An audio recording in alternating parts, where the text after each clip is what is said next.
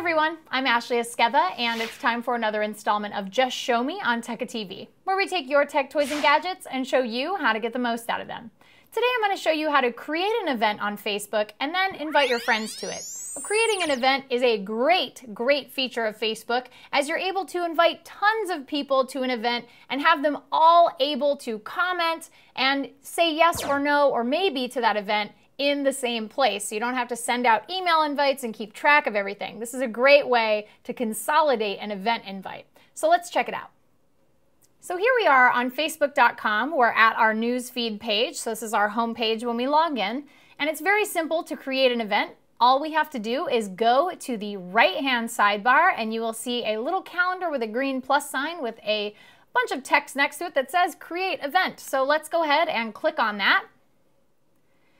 And now we can see we have this pop-up dialog that's asking us to put in some information about our event. So we are going to put in Tecca TV, Tecca TV's birthday, because we've been around for a while. Maybe we want a birthday party. Once we've put in the name of our event, we can put in some details. So we can put, come celebrate Tecca TV's first birthday.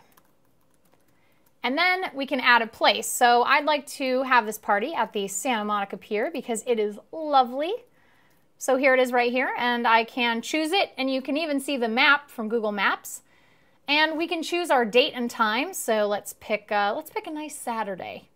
And we can add a time, so let's say about 4 p.m. Maybe we'll have a, a bonfire party later in the day. And we can decide who to invite to this party.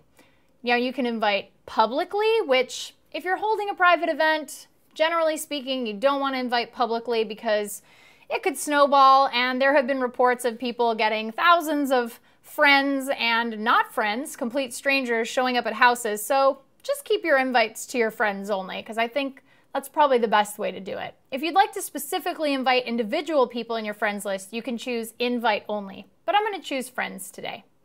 And once I've done that, I can now click invite friends. And it's on the bottom left side of our pop-up. And here are all of my friends I'd like to invite to Tecca TV's birthday. These are all potential candidates to invite.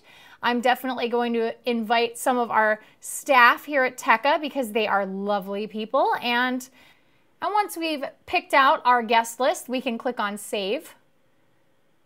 And you can see now it says 11 friends have been invited. And all you have to do at this point is click on the blue button that says create. Once we've done that, Facebook will take us to our event page. We can add a photo if we would like. If we'd like to add a picture of the Santa Monica Pier, we can do that by adding an event photo here in this link area.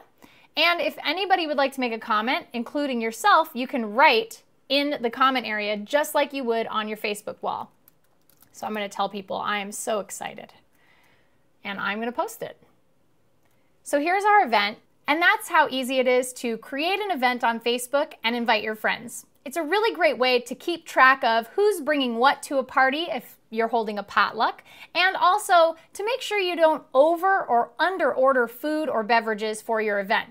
I love Facebook events and you should be really excited to use it. It will also sync to things like your Google Calendar, so it's a really great thing to use, especially if you have a smartphone device. That's it for Just Show Me on Tecca TV. Be sure to check out Tecca.com for all of our other content, and we'll see you next time.